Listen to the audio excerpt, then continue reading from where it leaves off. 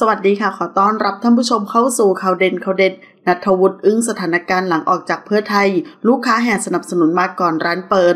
ภายหลังจากที่นายนัทวุฒิใส่เกลือตัดสินใจลาออก จากการเป็นผู้อำนวยการครอบครัวเพื่อไทย ยังคงใส่ใจกับธุรกิจร้านอาหารเยี่ยมใต้ที่มักจะมีเพื่อนๆ จากหลากหลายวงการแวะเวียนไปอุดหนุน และพูดคุยกันอยู่เสมอ ทว่าล่าสุดดูเหมือนจะเกิดสถานการณ์ขึ้น ที่นัทวุฒิเองก็ถึงกับรันว่าไม่เคยเจอ เมื่อเวลา 22นาฬิกา6นาทีของวันที่ 26 สิงหาคม นายนัทวุฒิใส่เกลือ ถึงกับโพสเฟซบุ๊กพร้อมแนบรูปประกอบแบบชัดๆว่า วันนี้เยี่ยมใต้แตก ลูกค้ามายืนรอตั้งแต่ 9 นาฬิกา 30 นาที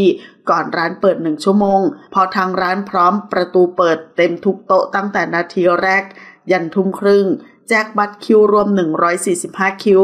แต่หลายคนรอไม่ไหวกลับไปก่อน กราบขออภัยอย่างยิ่ง สถานการณ์นี้คือสิ่งที่ไม่เคยเจอ ตั้งแต่เปิดร้านนานแน่นแต่ไม่อึดอัด ลูกค้าบางกลุ่มช่วยเก็บโต๊ะช่วยเสิร์ฟรอนานก็ยิ้มได้ ออเดอร์ล้น แก้มลุยอยู่ในครัวเองตั้งแต่ 11 โมง สนุกสนานกับมันมากขึ้นทุกวัน ขณะเดียวกันเพื่อนๆในโลกออนไลน์ ก็ได้เข้าไปคอมเมนต์รัวๆ ทั้งแสดงความยินดีกับกิจการที่รุ่งเรือง บ้างก็อวยพรให้เฮงๆ และเสนอแนะว่าแบบนี้คงต้องขยายร้านแล้วเป็นต้น